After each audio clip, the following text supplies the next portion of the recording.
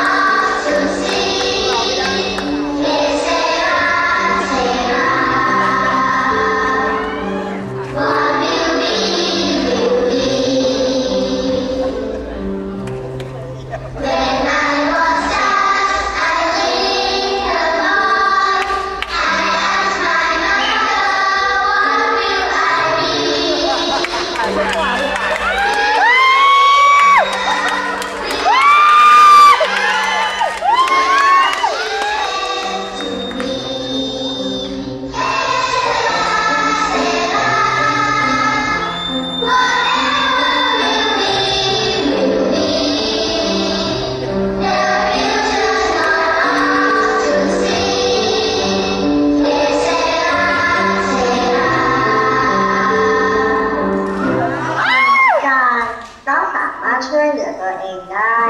และทำอะไรได้หลายอย่างเท่ากับคนปกติทั่วไปอาทิเช่นอย่างนี้ไงคะ